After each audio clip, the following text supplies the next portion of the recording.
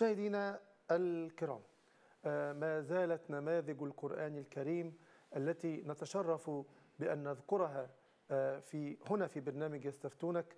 يعني هذه المرأة التي هي نموذج حي لمن يضحون بحياتهم من أجل القرآن ويعملون من أجل القرآن. لعل الله عز وجل يرزقها أن تكون من أهل القرآن في الآخرة. خلونا مشاهدينا الكرام نشوف هذا النموذج وفاة أقدم قارئة ومحفظة للقرآن الكريم بمحافظة الغربية عن عمر يناهز 97 عاما.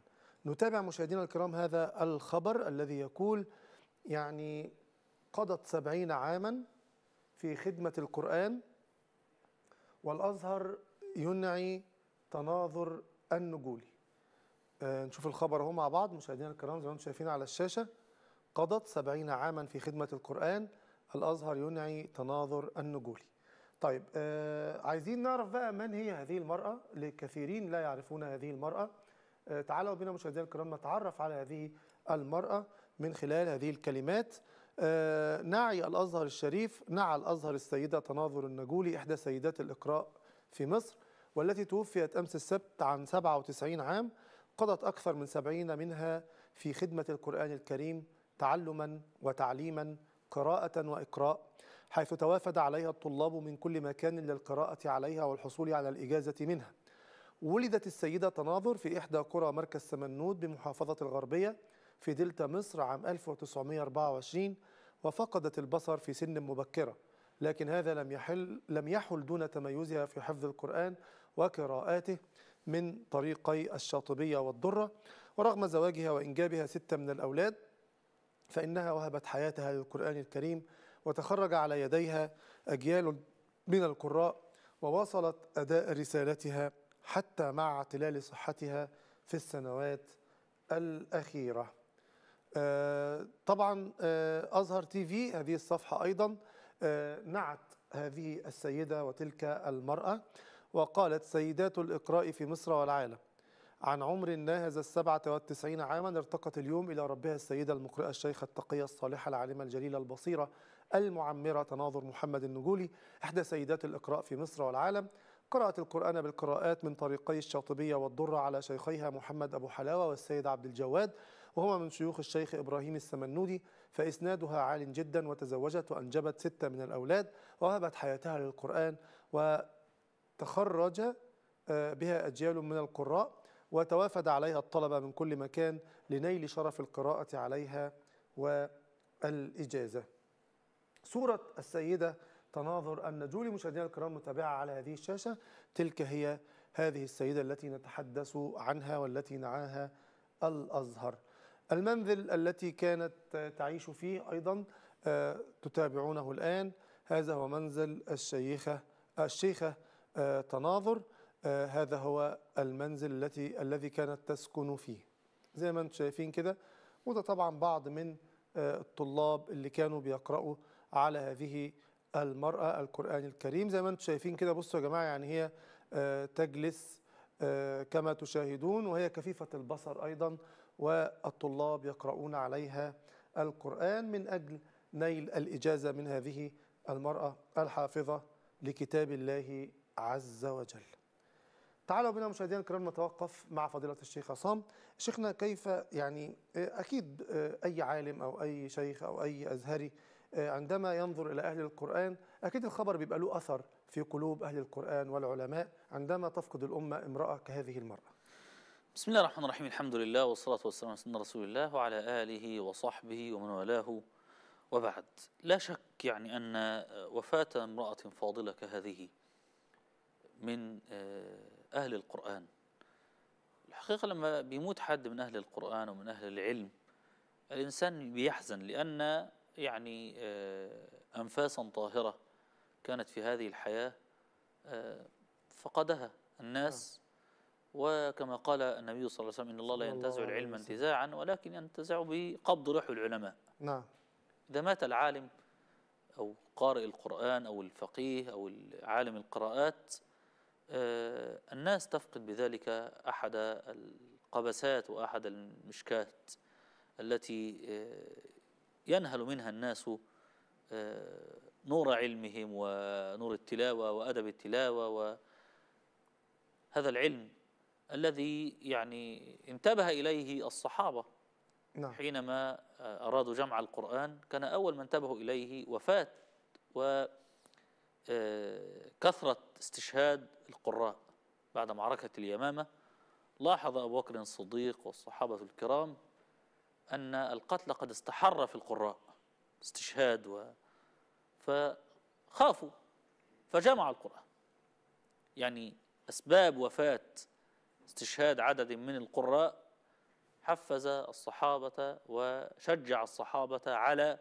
أن يجمعوا كتاب الله عز وجل كتابة نعم. لأنه في الصدور محفوظ ما فيش فيه مشكلة لكن آه، ظل الخوف والقلق على كتاب الله أن تطاله يد التحريف. نعم. ده السبب اللي بيخلي الإنسان يحزن لما بيسمع عن حافظ لكتاب الله. خاصة لما تبقى سيدة لأن ال- ال- العلم طبيعة الحياة يعني آه، النساء أقل من الرجال. أي يعني أقل من حيث العدد وإلا في نساء كتير بتدرس وتعمل لكن ما بتكملش. يعني هي ال- أخواتنا من النساء مش لعدم الكفاءة معاذ الله. بالعكس فيهم نساء يعني أكفاء بشكل كبير جدا. لكن العلم يحتاج لاستمرار نعم. مداومة على البحث والعلم والاطلاع. لكن بعض أو كثير من كثيرات من النساء بعد التزوج أو آه، بعد التخرج والعمل حتى لو لم تتزوج نعم. بعض النساء تعمل في السلك الأكاديمي أو ال- ال- العلمي الدراسي تدريس وبتتشغل. حتى لو ما اتجوزتش حتى لو اتجوزت وما خلفتش فالقصة مش قصة الإنجاء الزواج والإنجاب. وإلا ما عندنا السيدة الدكتورة عائشة عبد الرحمن تزوجت وعالما وأكملت مسيرتها العلمية. نعم. الشاهد هنا إني لما بيبقى المتوفاة سيدة ومن هذا اللون من العلم ده بيكون يعني شيء محزن أكثر. لأن امرأة في هذا المجال بتبقى لا شك اختلاطها وأدائها لرسالتها في في عالم بني جنسها من البنات بيكون لا شك دور مهم وكبير وكويس جدا.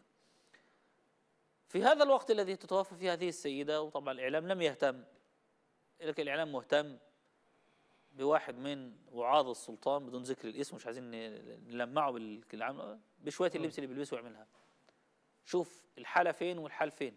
تمام. الناس على ال Face وعلى ال social وغيره وهو مزقطط بالحكاية دي.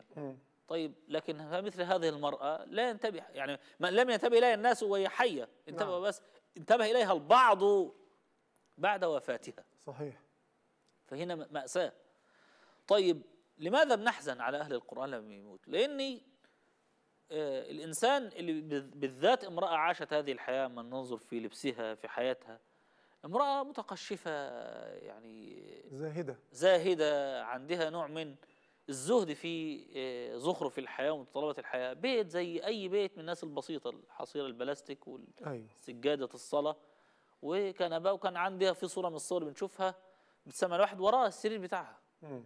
سرير بسيط جدا اللي هو أهالينا جميعا الناس البسيطة المتواضعة ده يعني. صورة سرير عادي ونفس الحصيرة البلاستيك صحيح. آه، وشوف في هذا السن ويعني سبحان الله يعني آه، مسألة لما تقعد تحسبها وتبص ليها لا يعني هذا النموذج من الناس يعني نموذج فريد في الحياة صحيح. آه، الناس التي لو أرادت المال طلبته و- ولكن سبحان الله بهذه البساطة تعيش المرأة ثم آه، تختم حياتها بها.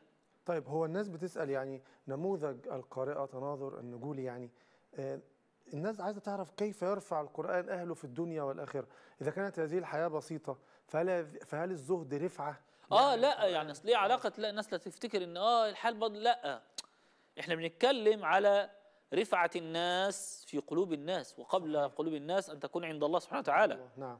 وإلا طب ما هي مثلا ما تسالها ما هتقول لك أنا عشت ما هي محتاجة إيه؟ يعني هي وهي مسالها وأنا محتاجة إيه من الدنيا؟ مم. مش مسطورة. أيوه. لا تمد يدها لأحد. نعم. لا تحتاج ما هو هي عايزة إيه؟ أيوه. مش بقول لك عايزة إيه؟ يعني بن بنستقل النعمة ليها لا بالعكس يعني مهما اتيت من علم ومال وزخرف الحياة الدنيا لن يساوي شيئا أمام ما تقدم من عطاء للقرآن الكريم. تمام. نحن بنتكلم من باب الرفعة من باب احترام الناس إن كل الناس بيجوا يصغر أمامها مهما كان مكانه مهما كان مكانته. صحيح. عشان يسمع ونشوف ده أزهري. وكان في صورة واحد تاني أخ سلفي. أيوه. من كل التيارات. هو كل رايح التيارات. يقصد القرآن. وصلك الفكرة. أيوة. أو ايا كان توجهه لكن أنا أقصد شوف كل اختلاف الأزياء دي واللبس ده نفس آه. المرأة بنفس طبيعتها بنفس شكلها والكلام ده. يعني آه، المرأة يعني هنا هذه السيدة الفاضلة نسأل الله أن يتقبلها في الصالحين. القصة هنا ما هو إيه يعني إيه العز إيه؟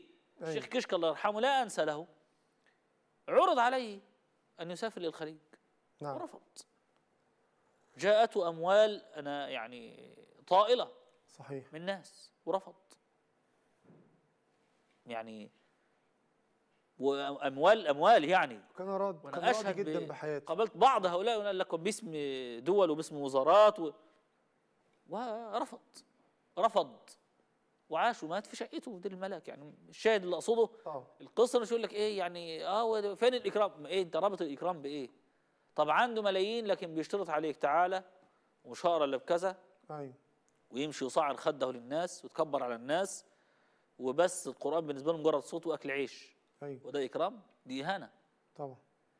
وهذا لا يمنع القارئ تالي القرآن انه ربنا يوسع عليه في الدنيا مالا. تمام إنما طبعاً. كل واحد باللي هو عايزه. يمكن هي يا سيدي دي اللي عايزة. مش عايز أكتر من كده. طيب أنا بتذكر. أنا أقصد بس مسألة الإكرام ملوش علاقة بالشكل الدنيوي. ليه علاقة براحته هو. هو حاسس بالكرم الله له. شكرا. خلاص. الدنيا بالنسبة له دي ولا حاجة. طيب هو كان في هذا النموذج أيضا يا نعم. شيخنا؟ يعني آه، عشان كده أنا كنت بتكلم عن أهل القرآن. هذا النموذج السنغال وفاة خادمة القرآن. يعني شوف اللقب رائع ما شاء الله. خادمة القرآن مريم بنت الشيخ إبراهيم أنياس. وهذه المرأة أيضا يعني تتلمذ على يديها الكثيرين وحفظ على يديها الكثيرين. كانت في العاصمة السنغالية دكار ونعوها في وفاتها آه، ولقبت بلقب الشيخة مريم وماتت أيضا عن عمر يناهز 88 عاما. وهي ابنة الشيخ إبراهيم إنياس الذي يعد من أبرز الشخصيات الإسلامية في القرن العشرين. آه، دايما يا شيخنا بي- بيجمع الناس دي كلها زي ما حضرتك قلت الناس دي ما بتشوفش أي معلومات عنها غير بعد وفاتها للأسف. وهؤلاء هم أهل القرآن. ما هو يعني ده نموذج مثلا يعني آه. هذه السيدة الفاضلة. وده اللي يدينا نموذج مهم يا جماعة إن إحنا حصر دور المرأة في شيء ضيق وفي وبرضه نفس بص يعني نفس آه مستوى الحياة نفس والدنيا. البساطة و... يعني آه، يمكن ده أكثر يعني آه، يعني فخامة شوية أقل يعني آه، آه. لكن أو بالنسبة لمجتمعها آه. هو الإنسان ابن بيئته. نعم. هو أهل مكانها أكرموها وأهل مكان سيدة تناظر أكرموها. تمام. بإيه؟ بما تريد هي صحيح. بما ترتاح إليه هي. وهو إكرام حافظ القرآن بإيه؟ بإن الناس بتكرمه إكراما للقرآن. نعم. وإن هو يكرم نفسه بأنه لا يهين نفسه بإهانة القرآن بإنه عامل بأخلاق القرآن. يعني هو ده مقامه طب أصل الناس ما سمعتش. آه. فليكن. سيدنا آه، قتيبة أو آه، لما كان آه، يقاتل أحد قادة المسلمين قصة مشهورة بصاحب النقب. صاحب النقب. حصن تحصن فيه آه، الأعداء الكفار لفترة طويلة. فأحد ال- هؤلاء يعني عمد إلى أن يحفر خرقا في النقب ويدخل ويتسلل ويفتح الباب لل وكان ملثما نعم. فعايز يعرف منه عشان يكافئه. ما هو كان كاد أن يهلك المسلمون. أيوه. فنادى القائد. مسلمة آسف. ونادى بين الناس يعني ليأتيني صاحب النقب ما جاش حد. فقال خلاص يجي لي في خيمتي. بعد فترة دخل عليه واحد ملثم وقال له آه أنت صاحب؟ قال لا أنا أدلك عليه أنا هدلك عليه. مم. بس عشان الناس تعرف يعني. قال له طيب دلني قال بس هو ليه ثلاث شروط. مم. واحد ألا تأمروا له بعطاء. تمام. اثنين ألا تكتبوا باسمه إلى الخليفة. نعم. ثلاثة إذا أخبرتك ألا تخبر به أحدا. مم. يعني ثلاث حاجات. تمام. لا تديله حاجة. ولا تكتبوا اسمه. ولا حاجة معنوية لا مادي ولا معنوي. آه. ولو قلت لك ما تقولش هو. تمام. قال له لك ذلك. فكشف عن وجهه وقال أنا صاحب النقل. سبحان الله. فكان مسلم في سجوده يدعو اللهم احشرني مع صاحب النقل. سبحانك يا رب. فهنا المسألة مش مسألة يا إخوانا إيه إزاي وأهل القرآن؟ يا حبيبي صاحب القرآن ده بيبقى عايز يعيش معاه مش فارق معاه الناس عرفوه ما عرفوهوش آه الناس آه وفي عالم آخر وصلوا ولا القرآن. نعم. مفيش الكلام ده. ولذلك يعني أذكر قصة حكاها لنا شيخنا الشيخ حسن عيسى عبد الظاهر. الله يرحمه الدكتور حسن عيسى عبد الظاهر. من علماء الأزهر وكان يعني من العلماء الربانيين يعني. فبيقول في يوم كان هو في المدينة المنورة في المسجد النبوي وبعدين فوجئ بواحد كل ما يروح كان في عمرة يلاقي الرجل ده قاعد وفي إيده المصحف. فحب كعادة شيخنا الله يرحمه إن هو إيه يعني يلطفه ويبشره فقال أبشرك بحسن صحبتك لكتاب الله إنك أنت يعني إيه مصاحب لكتاب الله عز يعني وجل فزت و آه فقال قلت إيه؟ مم. قال له قلت كذا قال له ده شرف لي أن أنا اصحاب القرآن مم. وقال له أنا أقول لك قصتي قال له أنا كنت وكيل وزارة المالية في مصر مم. وزارة المالية قالوا دي بقى كل الوزارات بيطلبوا اديها أول السنة. المالية عشان الميزانية. وكل قدامه عدد من التليفونات لا تكل ما بطلش ترن. تمام. والأول ما طلعت من المعاش ولا تليفون من ده بقى يرن ولا بقى حد يتصل بيا أيوه. فقررت إن أنا مش هصاحب حد يسيبني لا في غنى ولا في فقر. فلم أجد إلا القرآن. الله. فصاحبته وت- وأنا مصير افضل هو ده اللي باقي لي.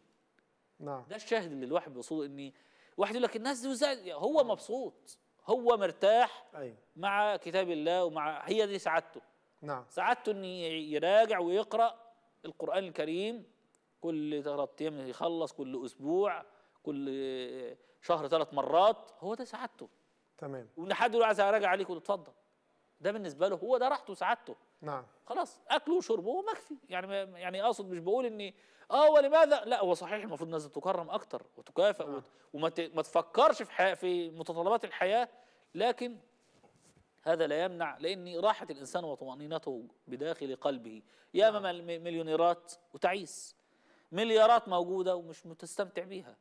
صحيح. عايش ومريض. يعني مرض نفس أو مرض بدن. نعم. فربنا سبحانه وتعالى يتقبلها في الصالحين ويتقبل كل. حفظة كتاب الله. أحياء وأمواتا في اللهم آمين. مستقر رحمته ويتقبل أعمالنا جميعا.